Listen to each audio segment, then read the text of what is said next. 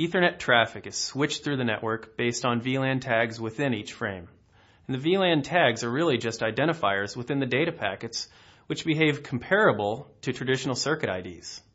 The VLAN tags enable multiple services to be combined on the same circuit. VLANs are simply a way to identify and separate traffic types, such as voice over IP, or departmental groups such as sales, finance, or operations. Now, historically, these traffic types have remained separated on physically different networks, but with VLAN tags, we can converge these traffic types onto a single network and still keep them separate from each other. VLANs are identified by a 4-byte field within the standard Ethernet frame. This means that there is a mathematical limit of 4096 VLAN IDs that can be created from the 4-byte field and be used to differentiate communications on any given switch. This limitation is compounded by the fact that each end user can establish and send multiple VLAN tags. So it doesn't take much to quickly deplete the limited quantity of VLANs.